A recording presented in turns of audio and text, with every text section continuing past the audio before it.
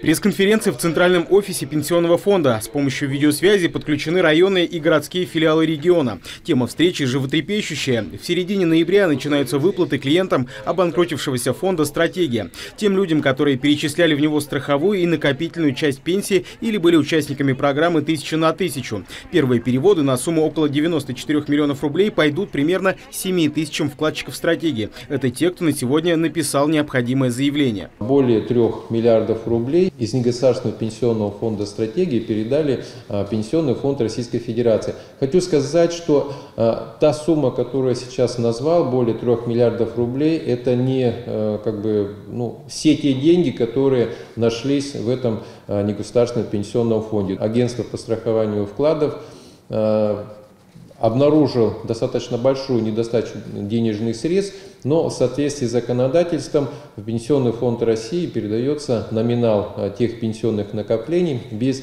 инвестиционного дохода, которые были зафиксированы в негосударственном пенсионном фонде. Пенсионерам, обслуживавшимся в стратегии, следует обратиться в территориальный орган ПФР по месту жительства или в любой многофункциональный центр. К слову, прием заявлений носит бессрочный характер, то есть те клиенты, кто еще не достиг пенсионного возраста, могут не спешить.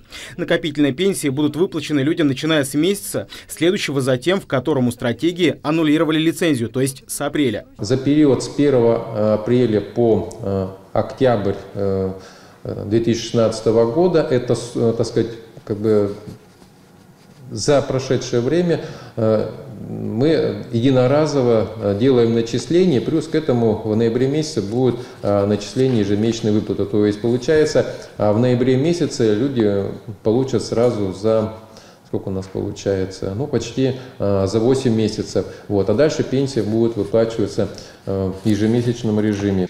Всего клиентов стратегии, которые достигли пенсионного возраста и могут обратиться в ПФР за выплатой пенсии, более 30 тысяч. Получить средства умерших клиентов имеют право их наследники. Для этого также нужно написать заявление. Фонд уже принял положительное решение по поводу 142 таких обращений. Что же касается людей, инвестировавших свои средства в деятельность стратегии, то тут особой ясности пока нет. Ими занимается главный ликвидатор фонда – Агентство по страхованию вкладов Центрального банка России. Евгений Гуляев, Степан Пепеляев, телевизионная служба новостей.